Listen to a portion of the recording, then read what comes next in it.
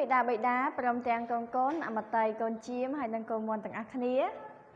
ចានៅព្រឹកនេះតាកូនទាំងអស់គ្នាសុខសប្បាយដែរឬទេ ចាល្អមែនតើឥឡូវនេះកូនជួបជាមួយនឹងអ្នកគ្រូនៅក្នុងថ្ងៃថ្មីថ្ងៃទី2មែនណាចាថ្ងៃនេះគឺជាថ្ងៃអ្វីទៅកូនចាថ្ងៃអង្គារមែនណាអញ្ចឹងមុននឹងកូនបានសិក្សាជាមួយនឹងនរណាគេដែរកូនចាគឺអ្នកគ្រូសន្យាអ្នកគ្រូបានបង្រៀនកូនអំពីមុខវិជ្ជាបុរេ ភាសាខ្មែរមែនណាកូនចាល្អណាស់តោះឥឡូវតាក៏បានត្រៀមខ្លួនក៏ដូចជារៀបចំនៅសម្ភារៈសម្រាប់រៀនជាមួយនឹងអ្នកគ្រូនៅក្នុងម៉ោងនេះហើយណាកូនអូល្អមែនតែនចាតោះឥឡូវនេះជាដំបូងមុននឹងចូលដល់មេរៀនរបស់យើងអ្នកគ្រូតែងតែឲ្យកូនចាសូត្រខគម្ពីររបស់ព្រះយេស៊ូវមែនណាចាតើឥឡូវសូមកូនបានសូត្រឬក៏ថាតាមអ្នកគ្រូទាំងអស់គ្នាព្រះគម្ពីរម៉ាថាយ ជំពូក22ខ37និងជំពូក19ខ19ត្រូវឲ្យស្រឡាញ់ព្រះអង្គម្ចាស់ជាព្រះនៃឯងនឹងចូលគោរពប្រតិបត្តិឪពុកម្ដាយ ព្រមទាំងស្រឡាញ់អ្នកចិត្តខាងដូចខ្លួនឯងម៉ាថាយជំពូក22ខ37និងជំពូក19ខ19អាមែនចាអរគុណច្រើននេះគឺជាព្រះបន្ទូលរបស់ព្រះយេស៊ូវដែលមករៀនកូនឲ្យចេះគោរពប្រតិបត្តិដល់ ព្រះយេស៊ូវមែនណាចាឪពុកម្ដាយព្រមទាំងអ្នកជិតខាងដូចខ្លួនឯងចាល្អចាអរគុណច្រើនតើឥឡូវនេះក៏អ្នកគ្នានឹងទៅមើលអំពីមេរៀនរំលឹកកាលពីថ្ងៃច័ន្ទម្សិលមិញមែនណាកូនចាអញ្ចឹងម្សិលមិញតើកូនបានសិក្សាអំពីលេខអ្វីដែរចាម្សិលមិញកូនទាំងអស់គ្នាបានផាត់ពណ៌លេខចាលេខ18មែនណាកូនចាឥឡូវកូនមកអានលេខ18ជាមួយនឹងអ្នកគ្រូទាំងអស់គ្នាតាលេខ18 លេខ18លេខ18អញ្ចឹងកូនអាចប្រាប់អ្នកគ្រូបានអត់ថាលេខ18មានលេខអ្វីខ្លះទៅកូនចាដំបូងគឺលេខ1ចាហើយបន្តមកទៀតគឺលេខ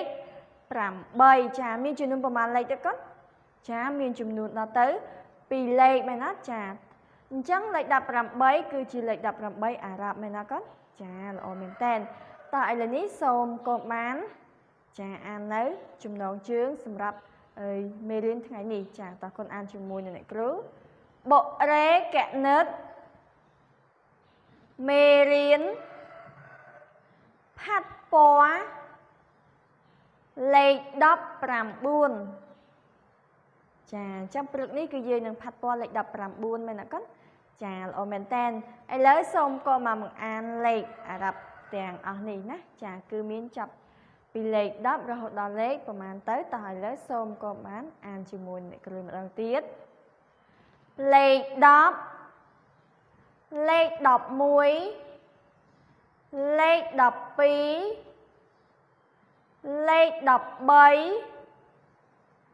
លេខ14លេខ15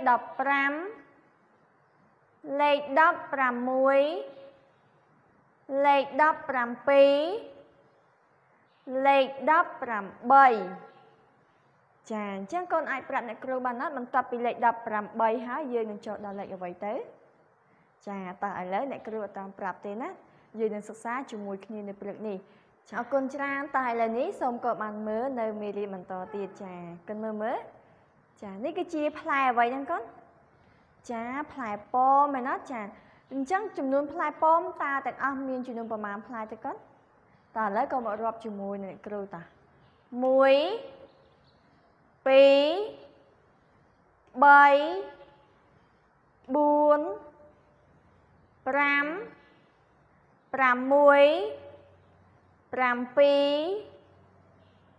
8 9 10 11 12 13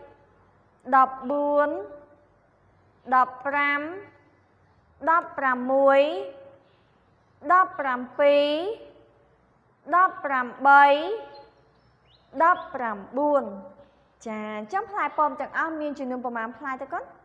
ចាគឺមានដល់ទៅចំនួន19ផ្លែចាចាអញ្ចឹង19ផ្លែច្រើនឬក៏តិចកូនចាគឺច្រើនខ្លាំងមែនតើមែនណាចា19ផ្លែអញ្ចឹងផ្លែប៉ោម ទាំងអស់មានចំនួន19តើលេខរបស់យើងលេខប្រមាណតើកូនកុំមើលលេខនេះមើលចាគឺជាលេខ19មែនណាចាតើឥឡូវកូនអានលេខនេះជាមួយនឹងអ្នកគ្រូសិនតាលេខ19លេខ19ចាគឺមានលេខ1ហើយនិងលេខ9មែនណាចាគឺមានដល់ទៅពីរលេខចូលគ្នា ចាអរគុណតោះឥឡូវក៏មកអានលេខទាំងអស់នេះចានេះ លេខអ្វីហ្នឹងកូនចាលេខ19ដូចគ្នា មានពណ៌អ្វីហ្នឹងកូនចាពណ៌ខ្មៅល្អណាស់តោះឥឡូវកូនអានឲ្យអ្នកគ្រូតោះ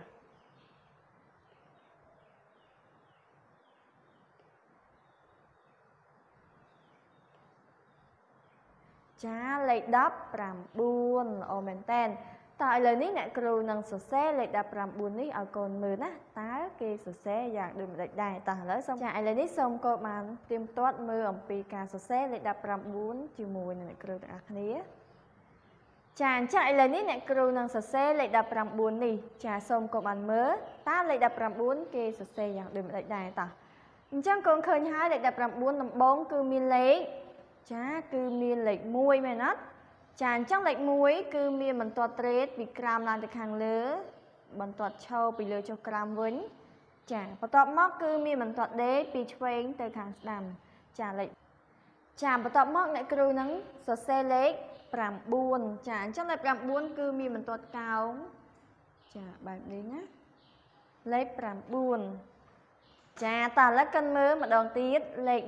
19គឺមានលេខ1 ចាហើយលេខ9របស់យើងចាបែបនេះមែនអត់កូនចាល្អមែនតែន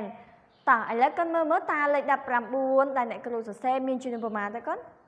ចាគឺមានចំនួន2ហើយថែមទាំងនៅលើ slide នេះមួយទៀតទាំងអស់គឺមានចំនួនដល់ទៅ3ឯណោះមែនអត់កូន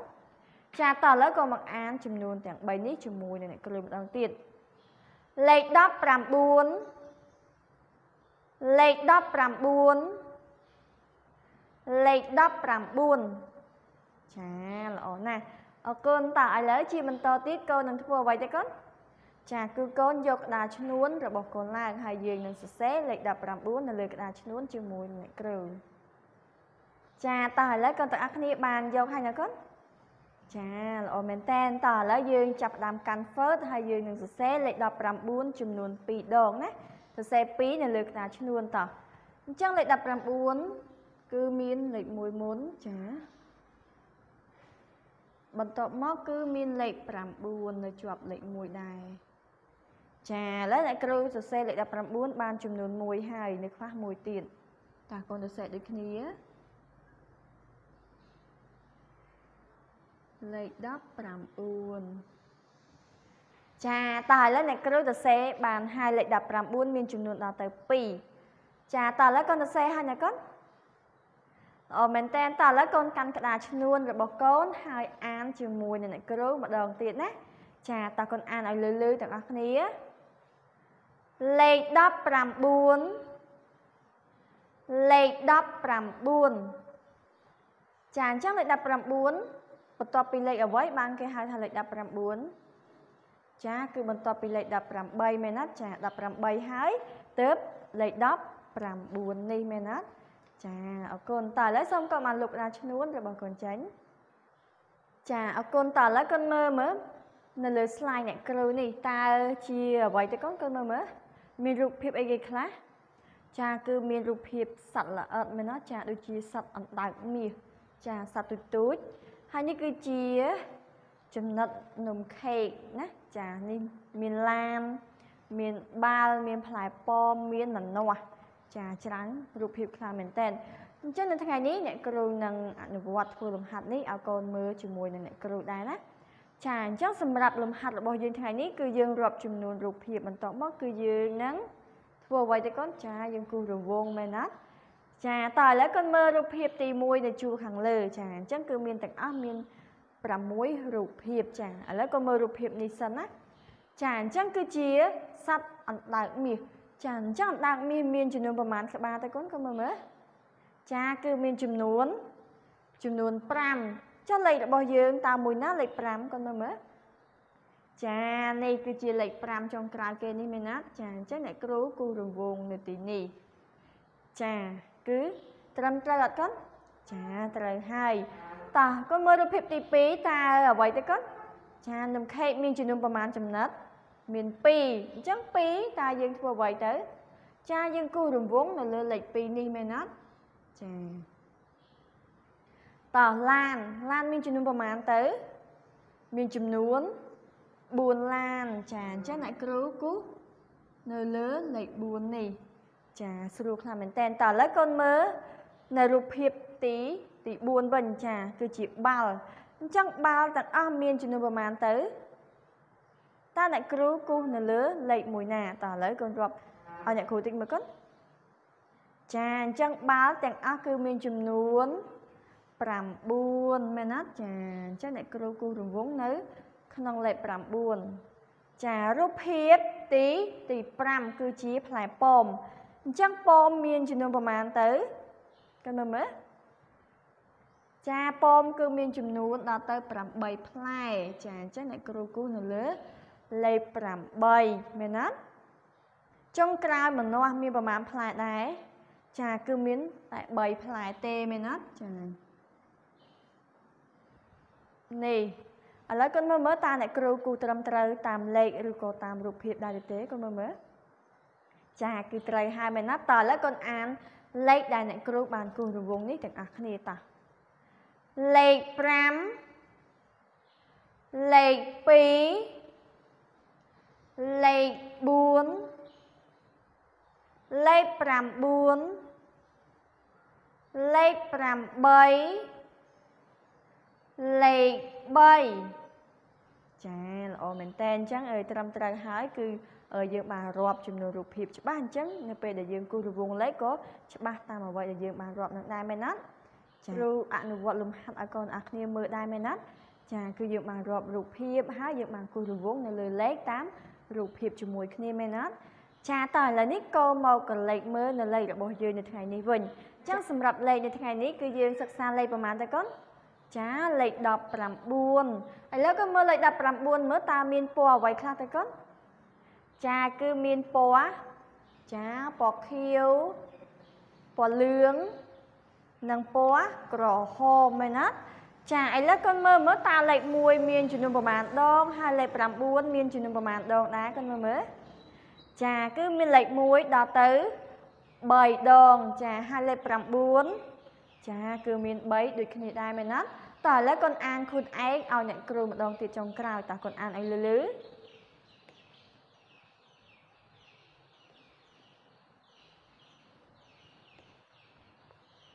ចាល្អណាស់គឺហៅថាលេខលេខ19ចាល្អមែនតើអូខេអញ្ចឹងអំបញ្ញមិញក៏បានអានលេខ19ហើយមែនណាឥឡូវនេះសូមក៏បានយកសៀវភៅបុរាណគណិតជាមេរៀនចាហើយកូនបើកស្វែងរកទំព័រទី45កូននឹងបានឃើញលេខ19ផាត់ពណ៌ចាដូច្នេះសូមកូនបានយក color របស់កូនហើយផាត់ពណ៌នៅលើលេខ19នេះសូមកូនបានផាត់ស្អាតស្អាត ចាបន្ទាប់មក នៅពេលដែលកូនផាត់រួចហើយសូមកូនកុំភ្លេចថតមេរៀនរបស់កូនផ្ញើចូលទៅក្នុងក្រុមទាំងក្រុមអ្នកមតីកូនជៀមហើយនិងកូនមន់ឲ្យអ្នកគ្រូណាចាចាឥឡូវនេះជាបន្តទៀតសូមកូនបានមើលសំណួរនៅថ្ងៃនេះចាសម្រាប់មេរៀនរបស់យើងតើឥឡូវកូនមកមើលសំណួរតើលេខ19មានលេខអ្វីខ្លះចាអញ្ចឹងសំណួរ quiz គឺស្រួលខ្លាំងមែនទែនគ្រាន់តែឆ្លើយទេណា ចា19តើមានលេខអ្វីខ្លះទៅសូមកូនបានឆ្លើយប្រាប់អ្នកគ្រូដោយការវាយជាសលេងរបស់កូនទាំងអស់គ្នាចាអរគុណច្រើនដូច្នេះមេរៀនផាត់ពណ៌លេខ19អារ៉ាប់របស់យើងថ្ងៃនេះគឺបានបញ្ចប់ហើយដូច្នេះសូមកូននៅតែថែរក្សាសុខភាពហើយជាពិសេសខិតខំរៀនសូត្រជាមួយនឹងអ្នកគ្រូជាបន្តទៀតចាអរគុណច្រើនដូច្នេះមេរៀនផាត់ពណ៌លេខ19របស់យើងថ្ងៃនេះគឺបានបញ្ចប់ហើយដូច្នេះ សសូមកុំបានសម្រាប់ហើយនៅម៉ោងក្រោយក៏អ្នកគ្នានឹងជួបជាមួយនឹងអ្នកគ្រូម្ដងទៀតជម្រាបលា